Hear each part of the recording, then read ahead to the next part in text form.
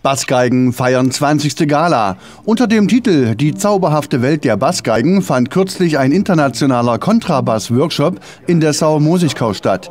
Die Teilnehmer aus Dänemark, Tschechien und fünf Bundesländern der Bundesrepublik hatten die Möglichkeit, ihr Können und Wissen in verschiedenen Workshops zu festigen und auszubauen.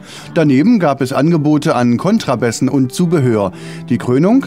Am Samstag und Sonntag fanden im Rahmen des Schlossbergfestes Bernburg unterhaltsame Konzerte mit den Kontrabässen statt.